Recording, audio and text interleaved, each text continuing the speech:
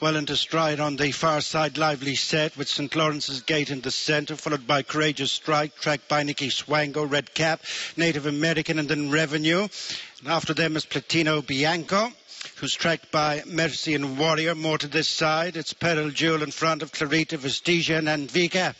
Heading for the halfway point, Courageous Strike edges to the front from the nose band at St. Lawrence's Gate, improving in the blue and white jacket, Nicky Swango, who is tracked by Native American and Lively Set. Revenue improves the stand side, followed by Mercian Warrior and then Platino Bianco. They've passed halfway in the Tattersalls Ireland Super Auction Sales Stakes. Nicky Swango with poise, Native American Revenue, the near side, makes three abreast, followed by Mercian Warrior. Lively Set fades ahead of Platino Bianco. Bianco and St. Lawrence's Gate who's tied up Clarita next with Courageous Strike and Anvika Vestigia and Pedal Jewel. Native American hits the front from Nicky Swango. Revenue Mercian Warrior is staying on. A couple of lengths then a lively set but the leader and extending the advantage is Native American well inside the final furlong. It's turning into a cracking day two for English trainers as Richard Fahey trains the winner of the Tattersalls ridden by Colin Keane. Native American